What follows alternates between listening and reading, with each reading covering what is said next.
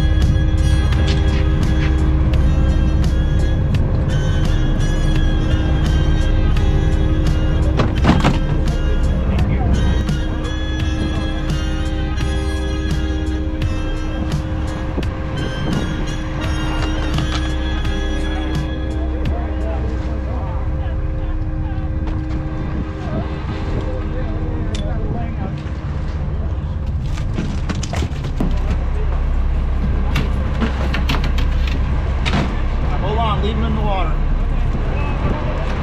That's a nice one, buddy.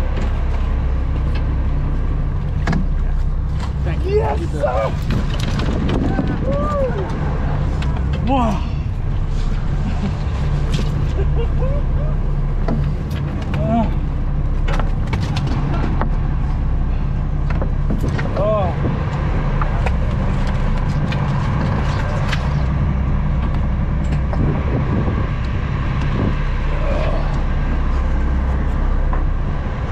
Doing that barehanded can be a little tricky, so be careful.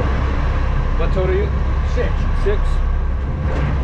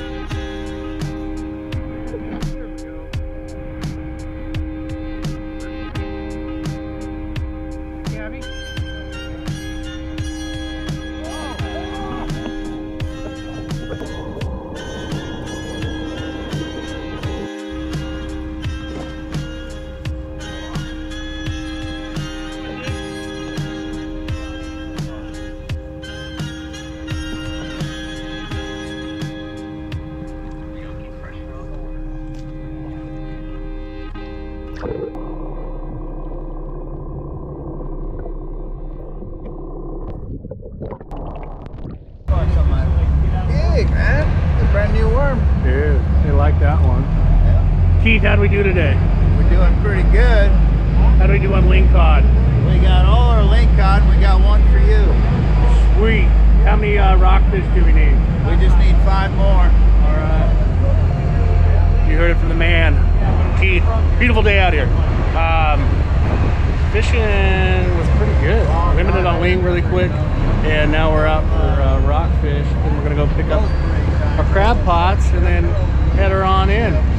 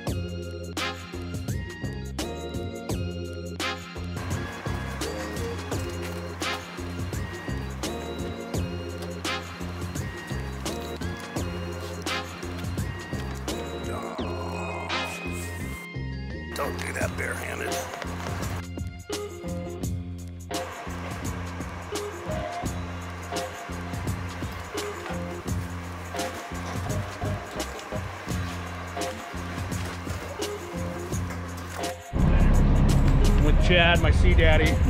How do we do today, Chad? We're doing all right. Yeah. Need five more rockfish. Um, I got a really good question. Some guys bring braid. We use mono. Why don't braid and mono get along? Braid will always tie